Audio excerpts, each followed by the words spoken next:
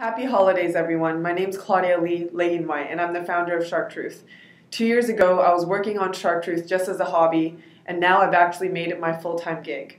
The reason why is because of the support and inspiration of the CCPA through the Next Up program. So this year, I encourage you to give the gift of change and buy CCPA membership for your friends and family.